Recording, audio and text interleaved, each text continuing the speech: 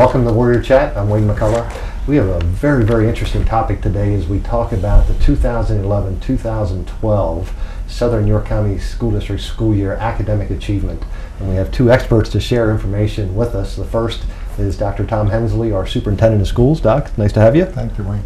And also Mrs. Sandra Lamont, who is our assistant superintendent. So, Sandy, nice to have you also. Thanks, Wayne. Great to be here. Uh, when I say they're experts, I don't say that uh, flippantly or even without good reason because under the leadership of Dr. Hensley and now Mrs. Lamont, uh, Southern York County School District really has risen from what I refer to as average uh, from an educational standpoint over the last 14 years uh, to really to be one of the top tiered school districts in all of York County as it relates to our academic achievement. So I'm happy you're with us, and we want to share some of that information with you today, and uh, perhaps get a little depth, in-depth uh, discussion about what some of that means. First of all, uh, Doc, I know I'll start with you.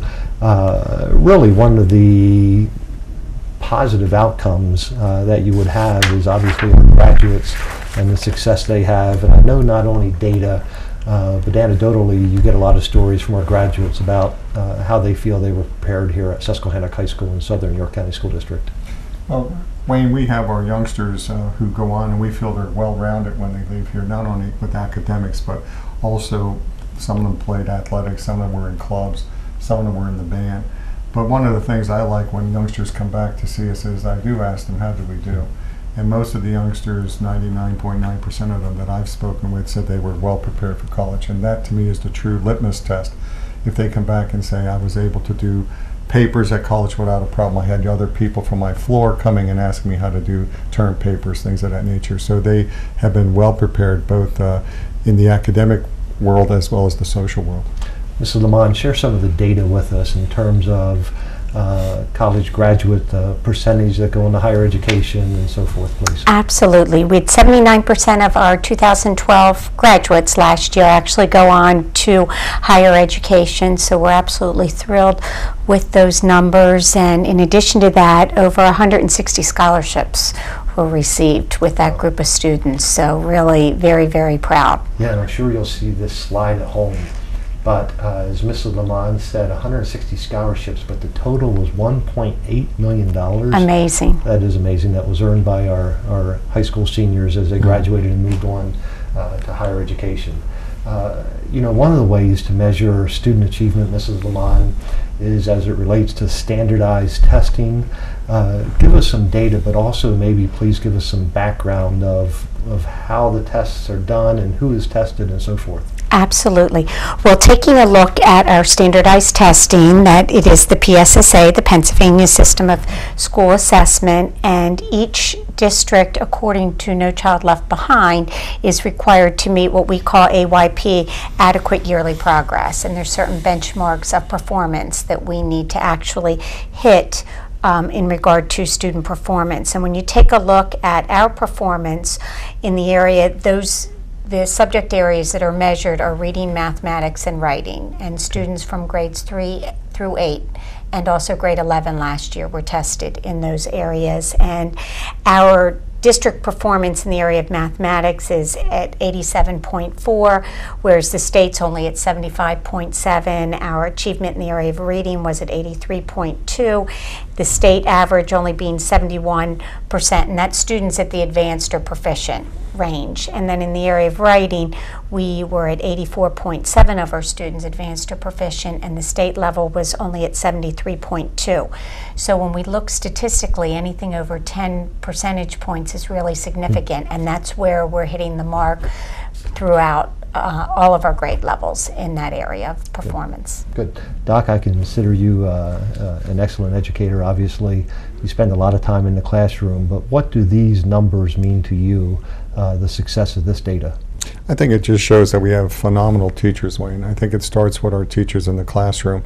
And our teachers really care about youngsters and their success.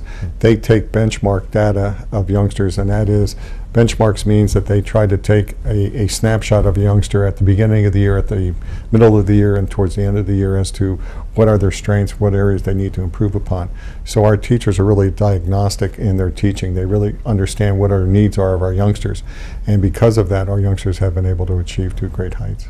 Mrs. Lamont, the, uh, obviously you need, uh, Doc mentioned teachers, but you need teachers uh, who are not only well educated but also are well prepared in the classroom every lesson they take in in order to receive these kind of results.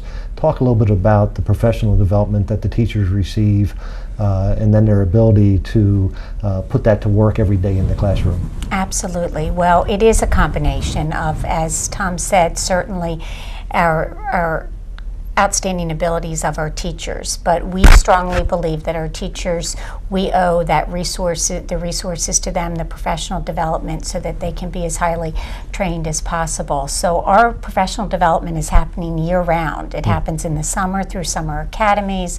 It happens in our faculty meetings. We are constantly seeking through teachers what more support do they need in different areas, and we're providing that to the teachers so that they can go into the classroom and be able to provide the best quality instruction. Very good.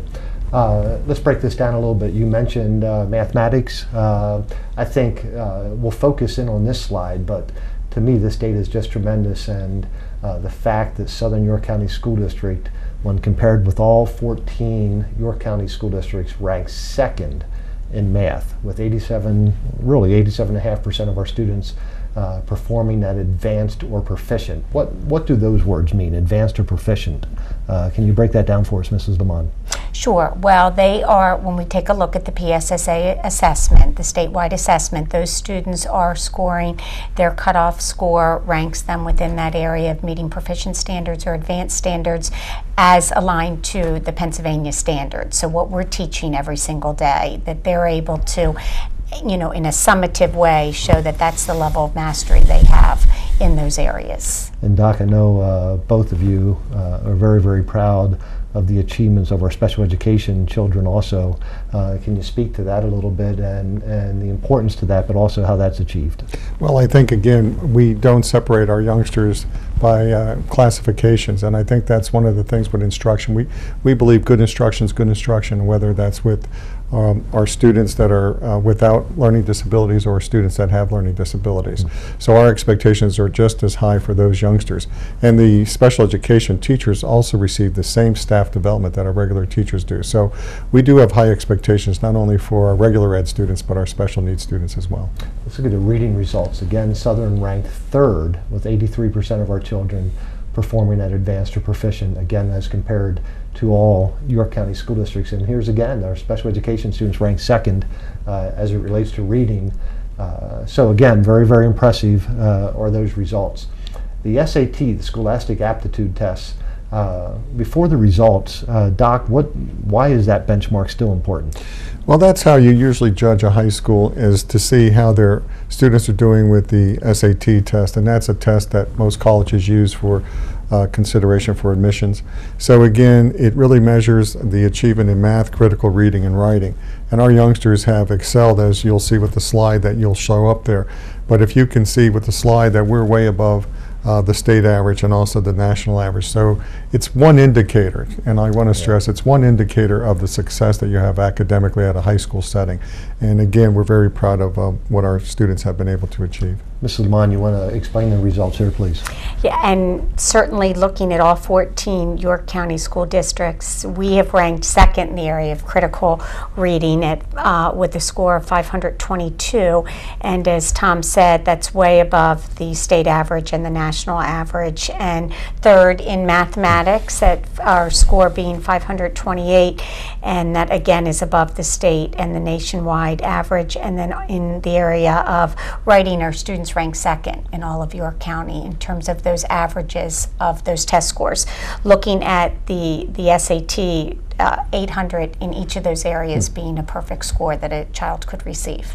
You know, the first thing, and I'm, I'm a numbers guy, but the first thing that jumps out at me is uh, that all those levels, critical reading, math, and writing, are in the top three uh, two of them being two. So I, I, guess I mentioned that because okay, you so you did well at math, uh, but then those same children are also succeeding in reading uh, as well as writing. So to have to be in that top tier, that top two and three of all school districts in York County in all three areas is what I find impressive, and probably more if you just broke it down from a statistical thing.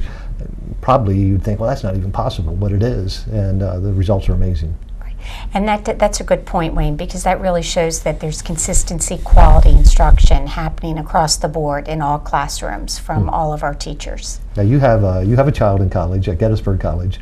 The uh, are, are those tests still important as children trying to get into colleges? They are, and some colleges, as Dr. Hensley said, um, are not using those as much as a as a direct admissions uh, test. But but for the most part, across the board, across the country, we're still using the SAT scores. The reason I think this is also important as an SAT, it's a standard test that's given nationwide. So again, you're able to compare apples to apples. So you're able to compare how your students are doing on a national level compared with other students of the same caliber as well as the state. That's why this is one facet of a test that's important. Interesting. The advanced placement program. First of all, Mrs. Lamont, please explain what advanced placement is, and then we'll look at the results.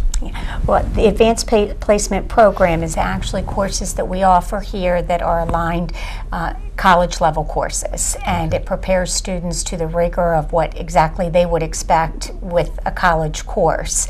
And when they actually take the final test at the end, the placement test, if they score a score of three, four, or five, they can actually earn college credit as well too. So many of our students are leaving our high school already with college credits under under their transcript to be able to go in. Interesting. Now, Doc, I know this was a major focus of yours.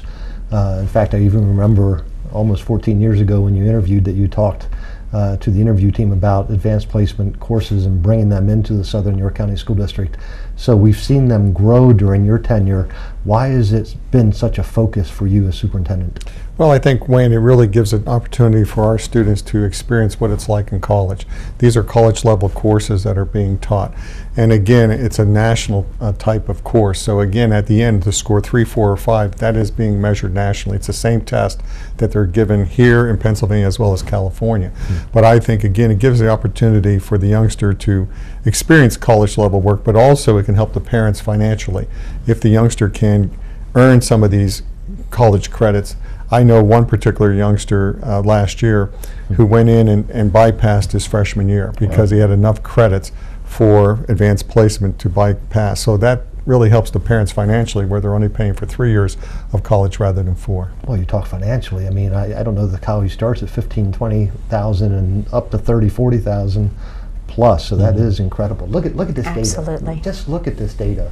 Uh, 244 students, high school students, participated in the advanced placement program, and 89% of them uh, received the grade that would allow them uh, to earn college credit for that. And that that's just incredible. Uh, what does that say, Mrs. Lamont? Well, again, it shows that we have quality teachers that are well trained, that, that are really working very closely in a differentiated approach to make sure they're they're providing that rigor and meeting each student's needs. So at the end, when they go to take that test, they can the students are demonstrating mastery in all of that learning. So it's it's a partnership between hardworking students and really high quality teachers. No, again, that I, that number is staggering. 89% of the students uh, passed out of that college course or had the because of their score. That- That's really Absolutely. amazing. Uh, so, uh, you know, we looked at a variety of benchmarks, uh, PSSA results in terms of how our children did their SAT results, advanced placement results. Uh, Doc, uh, are you happy where we are? Are you content, or what's next? Well, you're never content. You Okay. always you always want to thought you might say that. Yeah, you being a former coach, you know Right. what I'm saying. You're never content. You always want to do better, even if it's a little better. But I think again, we are really dedicated to having effective instruction in the classroom. And one of the things that I just want to highlight is this past year, as an administrative team, we spent uh, a whole year previously to this year looking at effective instruction. And I'd just like to take a moment to explain that if I can. We took a whole year and tried to identify as administrators what did we see that were elements that we wanted to see with instruction every day. And we came up with five areas, and if I can, I'll just read them to you. But it's relationships with students, data-driven lessons that we see teachers use based upon what kids need, the engagement of youngsters in authentic tasks, in the classroom. And then we looked to see differentiation. Was the teacher differentiating instruction for certain youngsters in the classroom? And then finally, the real kicker is what evidence of student learning took place. And I have to give a lot of credit to Sandy. Uh, Sandy was the one who spearheaded this initiative as the assistant superintendent. And really, we have all administrators from from elementary, middle, and high who agree that these five components are what we want to see when we go into the classroom with teachers. The teachers have been given staff development on this, and the teachers have agreed that this, these, this model is something that they should be doing in the classroom. So this has put a great focus on to what we want to see in, with the instruction. Because many times you'll have people say, well, what are you looking for? Well, here are the items we're looking for. There's no doubt in anybody's mind. Teachers know what we're looking for. Teachers know that this is good instruction, so they're looking to do it each and every day. It's interesting. You mentioned the instruction practices. Uh, Sandy, it also takes, as you, we already talked about staff development, it takes putting the right tools in the hands of our teachers uh, and obviously our students. It takes a uh, well thought out uh, curriculum. Uh, can you tell us your focus uh, as, first of all, we look at our success and why it's successful, but also how do we move forward?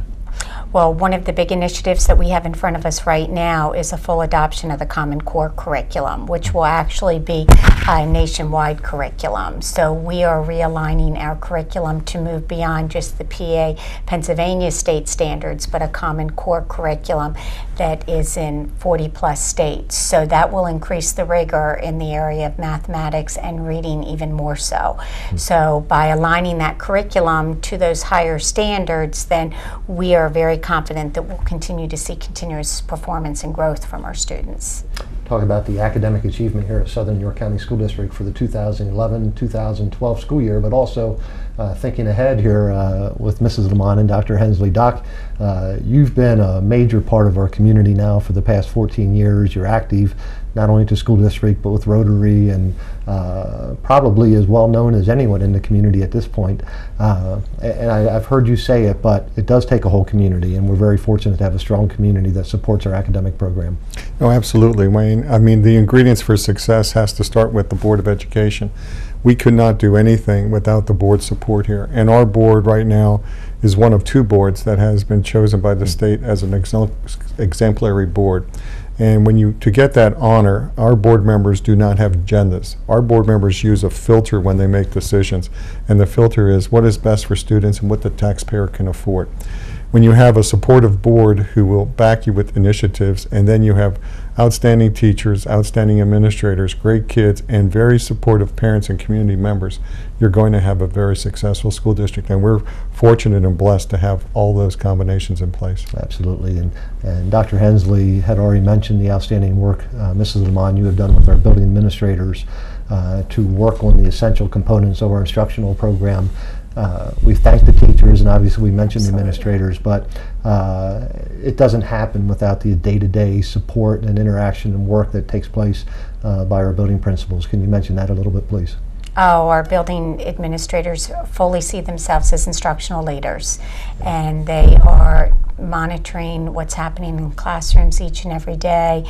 They are serving as role models to ensure that our students are making the greatest growth that they can as learners. So they pride themselves in staying current with best practices, supporting the teachers, and hmm. ensuring that instruction is our number one priority student achievement. Yeah, and I think uh, both of you hand in hand have worked very, very hard to make sure that it's also the culture of every employee here at the school district.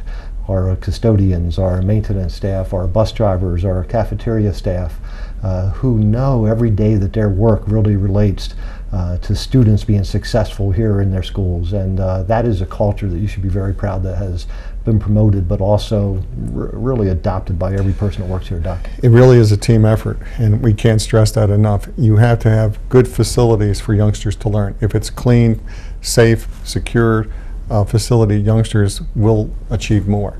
If you have youngsters that are fed, and we have the cafeteria program with the breakfast program and so forth, again, research will bear out that youngsters who are hungry don't don't do as well as as they could in schools. Um, and again, it's a, it's such a team effort from our maintenance staff, our custodial staff, our food service staff, our clerical staff, and that's why when we open the school year up each year, we make sure all of those groups are there to be recognized because it's just not the teachers, it's just not administrators. It really is a combination when we say a whole village is needed to, to raise a child. That's truly uh, what this district exemplifies.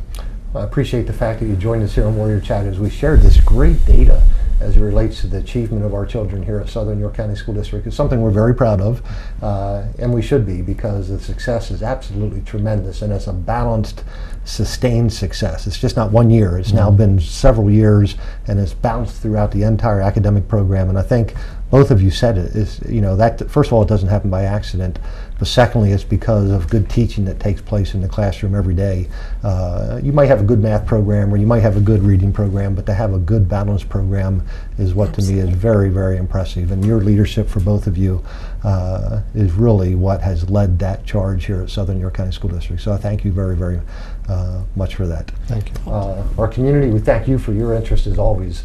Uh, it's something I'm very, very proud of that our that Southern York County School District community has just a long history of, of valuing education for our children and supporting education for our children. So thank you so very much for your interest. So for Mr. Mark Rill, our coordinator of marketing and public information, for Dr. Hensley, Mrs. Lamont, I'm Wayne McCullough saying I'll see you next time.